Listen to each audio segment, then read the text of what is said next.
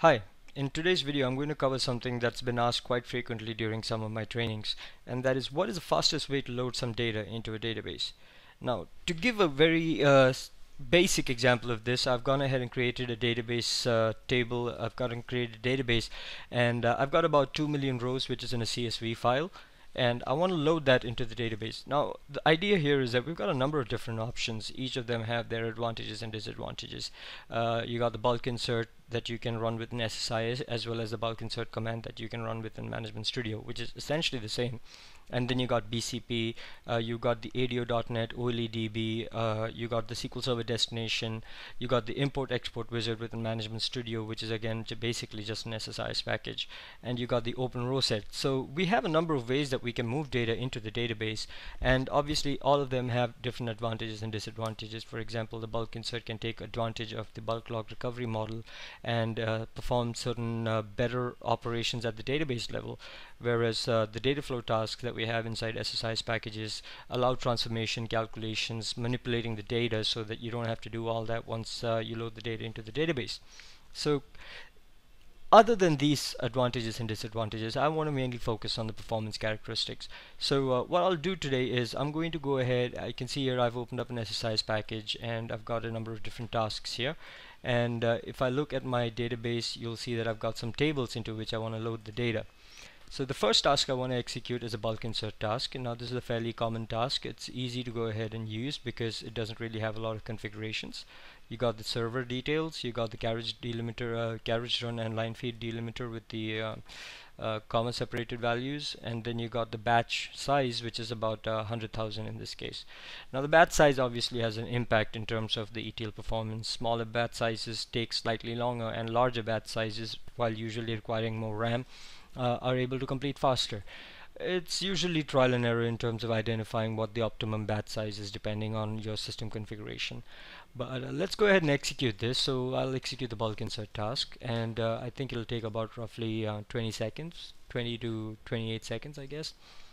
So in this task you can see it's commonly understood or it's established that bulk insert is one of the fastest tasks available. Uh, disadvantages include the fact that uh, it obviously doesn't allow transformations. It's a direct push into the database which for most cases I think would be fine because we're all accustomed to using staging tables and then performing transformations uh, after those staging tables are populated. So as you can see here, we've got about 27 seconds here for the bulk insert, which is uh, a fairly de decent time, I'd say, considering my laptop's configuration, as well as uh, the fact that it's about 2 million rows. Now, the next one that I want to show you is the OLEDB task. Now, this is obviously a data flow task because if you open up data flow, you can see here that we've got OLEDB sources, uh, a flat file source, and OLEDB destination. So that's what this is about. Now, I'm going to go ahead and execute this but before I do that there's something very important that we need to uh, understand here. OLEDB actually has a default buffer size allocated to it and that is this amount that you see here. Uh, what you would need to do from an uh, import export behavior perspective would be to identify the average row size of the data coming in and then divide that row size with this value uh, divide this value with that row size to arrive at what you think would be the maximum number of rows that fit within uh, this much amount of uh, buffer size. So I'm going to go ahead and choose an extremely small value of uh, 500,000 at the moment. I'm sorry uh, 500 and uh, I'm going to execute this. And you'll see that this will take a slightly longer amount of time compared to bulk insert because it doesn't really use any of the SQL Server uh, bulk log recovery uh, aspects around it. So it's not really doing the most efficient way of ETL into the database.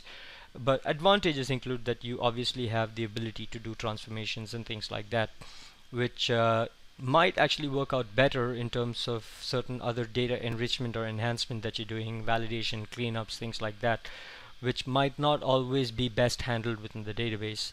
So for that uh, reason, uh, there are genuine cases where OLEDB destinations or any of the other data flow tasks actually make uh, a lot of sense when you're trying to uh, import uh, huge volumes of data. Now this one, if you go ahead and look here in the data flow task, you'll see we're about at 1.5 uh, million rows. So we're just about done.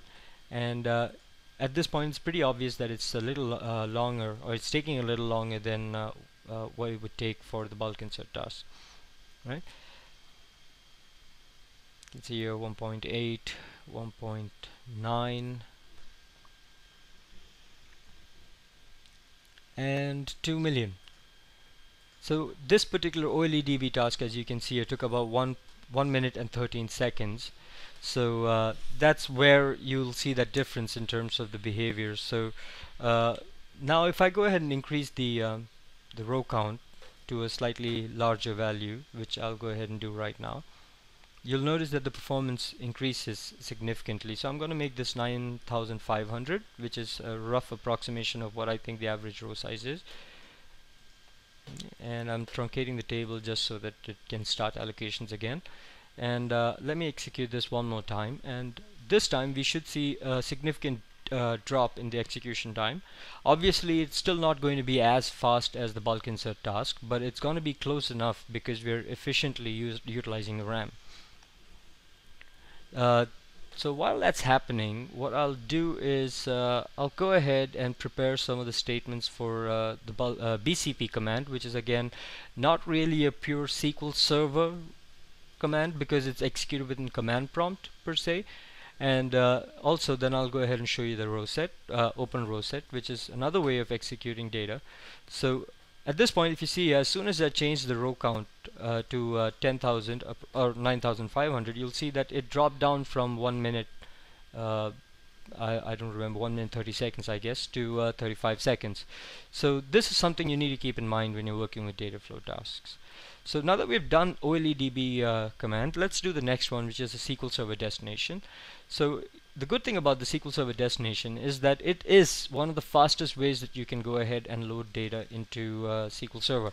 However, uh, the only limitation of this command is that the files and everything related to the ETL needs to be hosted on the same server. So the da database, as well as the source files, as well as integration services and uh, the database engine, everything has to be on the same server. So in this case it's more about really utilizing the existing hardware more efficiently rather than giving you the flexibility to fetch data from multiple places and do remote operations.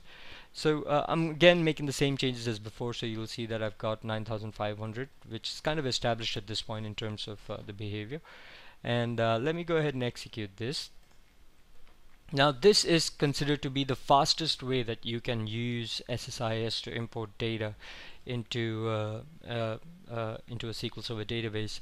So as you can see this is executing at the moment and it's already at 1.7 1.8 1.92. great and this one if you look over here is just 15 seconds in terms of being able to load data into the database. Uh, it uses a lot of efficient algorithms in terms of being able to move the data into the database. Uh, uh, a lot of it has to do with how uh, the data is actually read from the buffer pool because of the fact that it's all local to that server itself. So at this point you'll see that uh, SQL Server Destination is the fastest so far followed by bulk insert uh, which is a close second and then we got OLEDB which after we configure the RAM is also fairly fast. And the last one we have is the ADO.NET so if I go ahead and open up ADO.NET uh, I'll change this to 9500 again. Again the configurations for all the data flow tasks are roughly the same because the properties are the same. And uh, I'll go ahead and execute this. Now the thing about ADO.NET versus OLEDB is that internally within SQL Server for all the data movement that happens uh, OLEDB is what is used uh, ADO.NET is a more generic uh, framework.